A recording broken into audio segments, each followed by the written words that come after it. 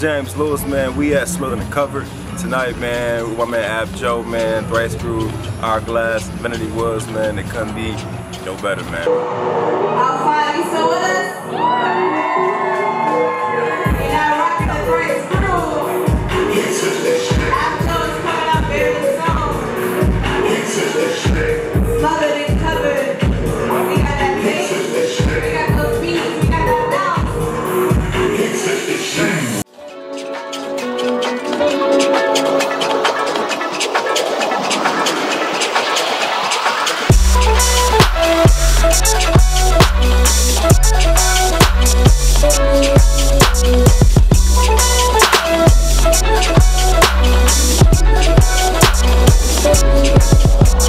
Guys have an open mind.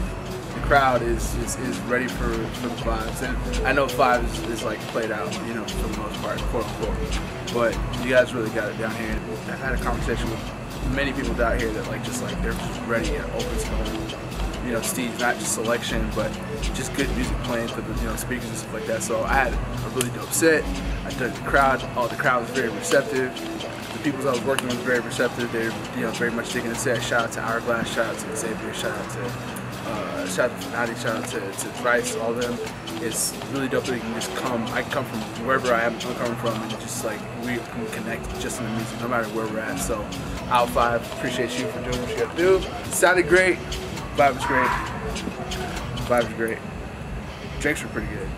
Thank you so much to the WERC Crew. Thank you to Xavier. Thank you to Hourglass and Lisa. Thanks to the whole crew. Yo, I appreciate you so much, Chucky. That's it. I'll be back. Says you better leave it. Give it up for Hourglass one time, yo. Let's go.